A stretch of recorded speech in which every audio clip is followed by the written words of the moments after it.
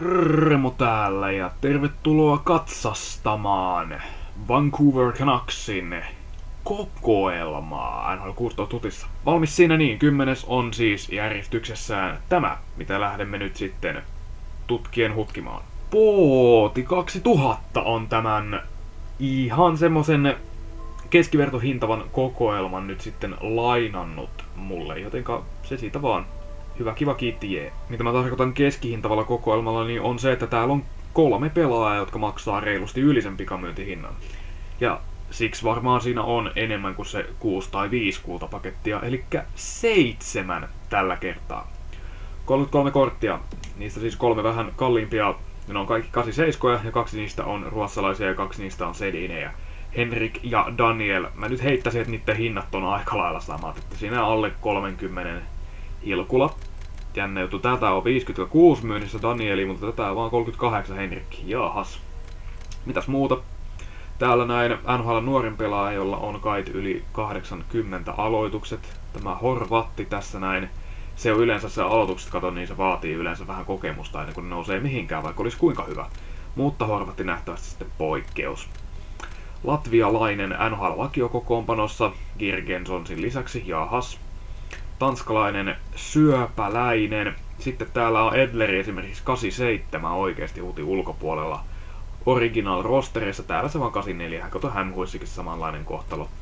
Spiisa, kaksi sveitsiläispakkia tässä jengissä. Tanevo yllättävän laatu puolustavaksi pakiksi. Siinä on se toinen sveitsiläinen.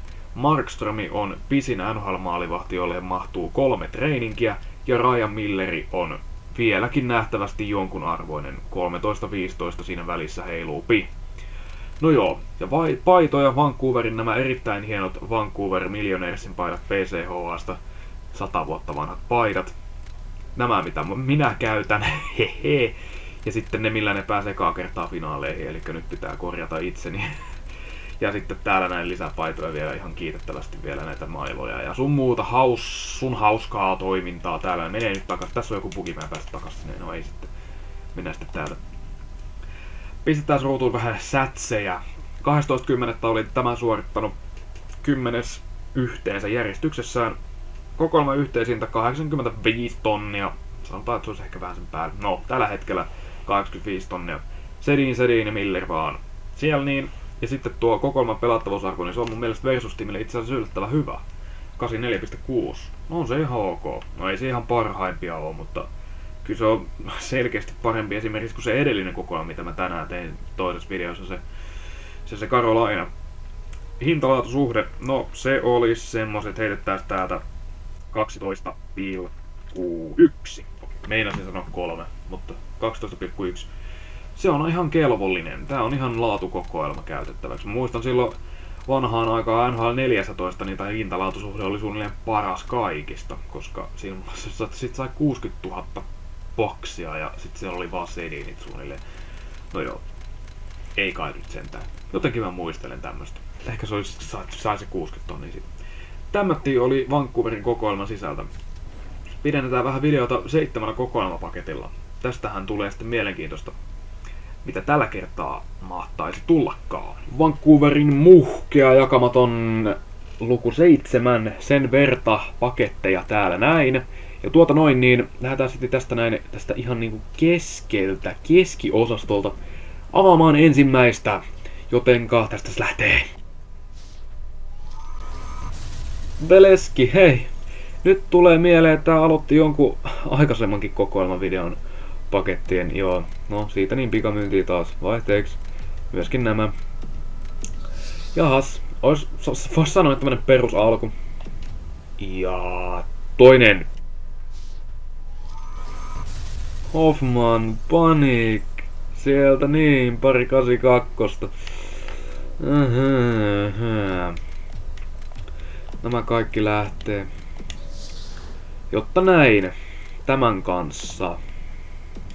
Nyt kyllä. Me nyt taas vähän aikaa, semmoista muutama kymmen pakettia ilman mitään. Mä nyt sanon tässä vaan. Kulikov, kuka siellä piilottelee takana? Joku Unrare Winchester, joka oli jo niinku tämä hetki, nyt otetaan kyllä mieluummin. Jahas, jahas, jahas. Tämä on sarjan ensimmäinen perhana. Öh. Koko paketin pikamyynti. Okei, puolivälissä. Täytyy vaan luottaa. Niinhän se, niinhän siinä toivossa on se hyvä elää. Kyllä nämä NRin kokoelmapaketit kyllä. Garner, Spalin, kaksi pakettia, kolme Toronto-äijää niistä. Mm-hmm, otetaan vaan ne, mitä täältä kannattaa ottaa. Oho, taas jäi aikas vähin. Täältä yksi äijä kokoelma. On se Gardineri ihan, ihan semmonen peruslaatukas mutta täältä ollaan hakemassa jotain ihan muuta. Ja se, että täältä tulisi jotain järkevää, niin se on kyllä aika poikkeustapaus kerta kaikkiaan. Ainakin näistä pakettien sisällöstä päätellen. Neljä menty, kolme jäljellä. Vielä kuitenkin. Reeves, Wilson.